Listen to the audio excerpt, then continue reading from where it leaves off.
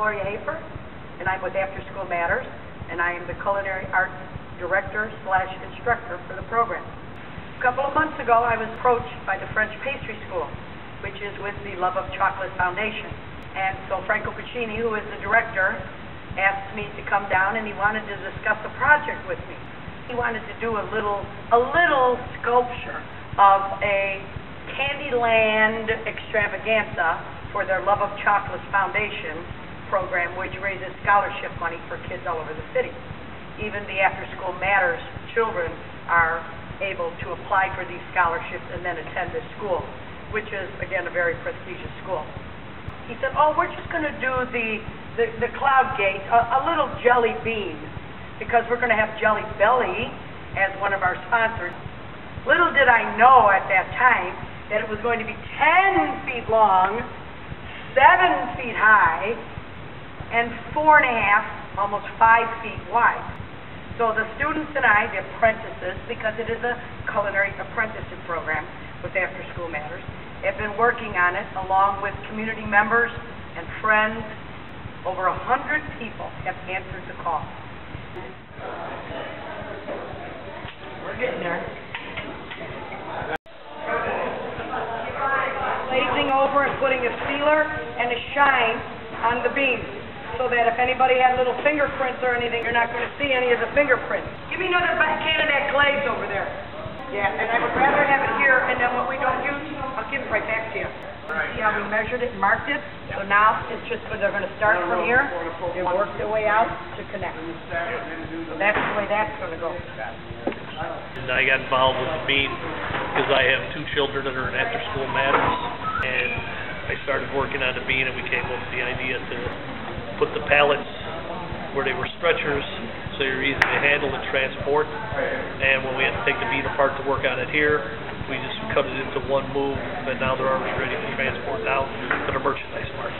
We're gonna be taking these paddles and going around on the seam here to loosen it up so that when we go to make our pickup, it'll come off easy enough.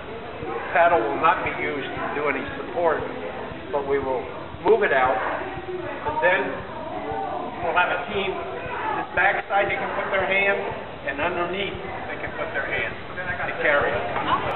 That was, that was, that was perfect, guys. All right, now somebody hold that, yeah, just in case it decides it wants to. Okay, go ahead.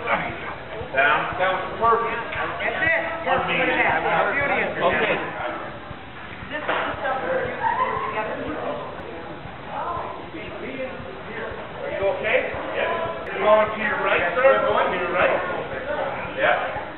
I got, I got the beam. Okay, let's keep it level, guys, let's keep it level. Come on to the table.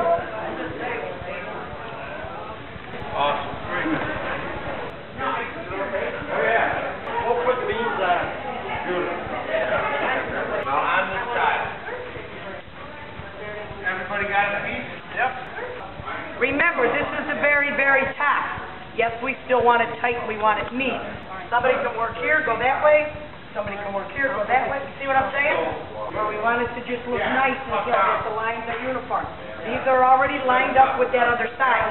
So as long as you follow these lines, you know, and then just keep your lines going straight. So here we are on the back side of the bean, which again is being put back together. And because we live in our great city of Chicago, we wanted to highlight and focus our great city. So what the students have done is, we have put together a stencil of our skyscape, and again brought out all of the Jelly Belly, Jelly Bean flavors, so that we could use all the colors to encompass it on the backdrop of our great city of Chicago. All right, this is just, again, one of those sections that we pulled apart, and now they're going to be put back together after we do all the detailing, glued into this massive structure to give credit to everybody that has been a part of the project. Here we have the French Pastry School logo, the Jelly Belly Jelly Bean logo, and the After School Matters ASM logo.